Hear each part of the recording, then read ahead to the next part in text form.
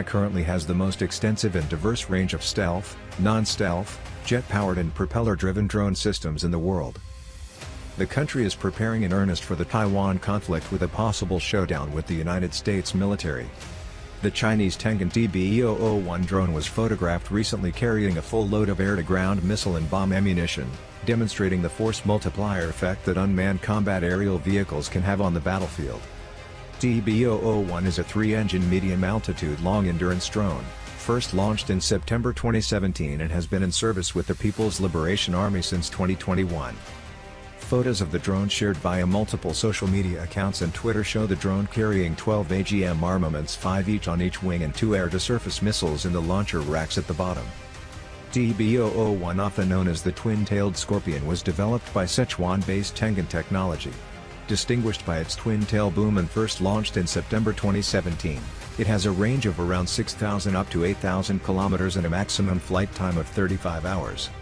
It has a maximum takeoff weight of over 3,000 kilograms and a service altitude of 32,808 feet.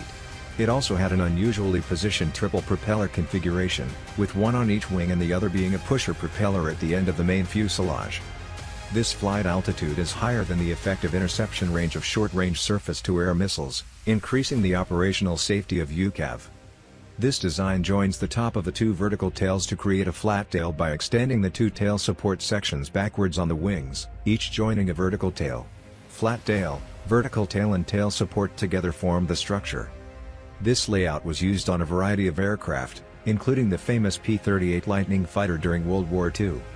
With an electro-optical tracking system directly in front of the ventral missile launcher, the drone can be useful in destroying high concentrations of ground targets by acting as a bomb truck.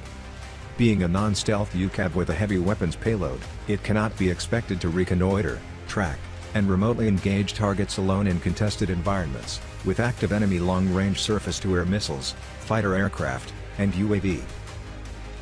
Incorporating its own electro-optical tracking system along with other friendly stealth drones, fighter jets and ground assets, TB-001 can be summoned to discharge its payload and fly back capable of carrying the type of payload that allows other land assets to be lightly armed and mobile.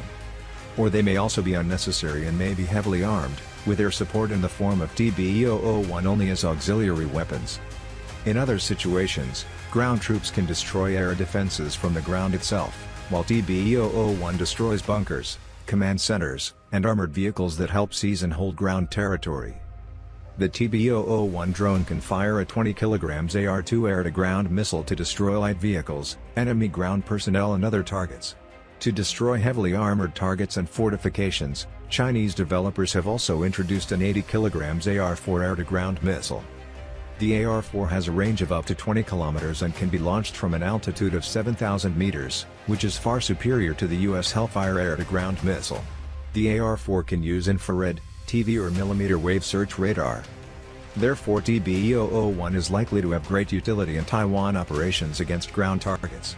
It has already seen operational flights, first flying over the East China Sea unaccompanied and then flying through the Miyako Strait on board two Shaanxi Y-9 aircraft in August 2021.